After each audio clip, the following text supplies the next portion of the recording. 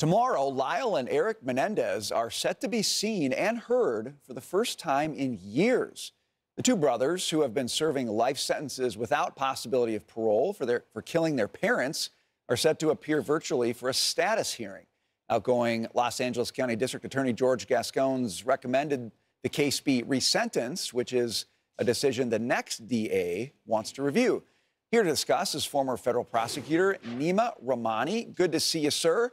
Um, I'm fascinated by this. Okay, this is these guys have been behind bars for 34 years, and you've got the Los Angeles outgoing district attorney saying we need to reopen up the sentencing, and it seems to be predicated largely on a documentary, a Netflix documentary that's gotten people's attention.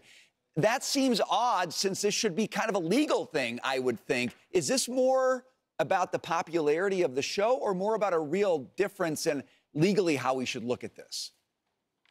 It is fascinating, and it's really the power of a Netflix series. We've seen it time and time again where a documentary can completely change the course of a legal case. Britney Spears was freed from her conservatorship largely because of a documentary. R. Kelly was finally brought to justice because of a documentary.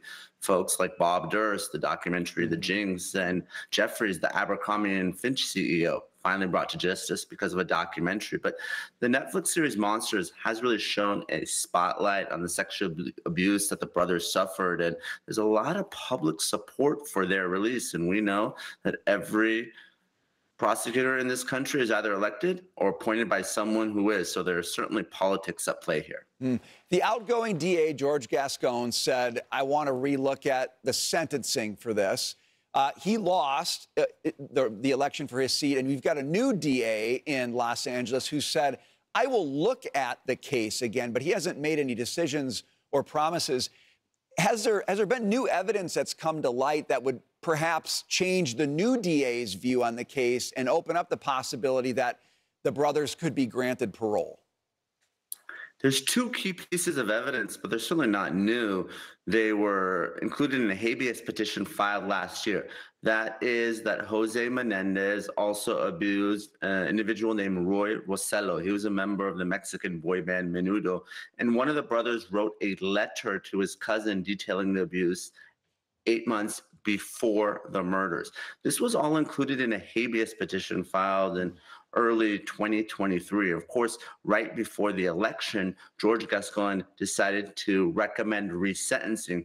Of course, he lost. Now it's really up to incoming District Attorney Nathan Hochman. The question is, is he going to honor that request? In his public statements during the election, he didn't take a position one way or another, nor has he since he has been District Attorney elect. So tomorrow's status hearing is going to be really important. And the question is, our prosecutor is going to detail what mm. Hochman intends to do because I think that's the key piece of evidence because the resentencing hearing isn't until December 11th and Hochman takes uh. office on December 2nd. You know, they're they're doing a lottery system to give out tickets to watch this remote appearance by the Menendez brothers. I mean, does that surprise you that it's become such a spectacle?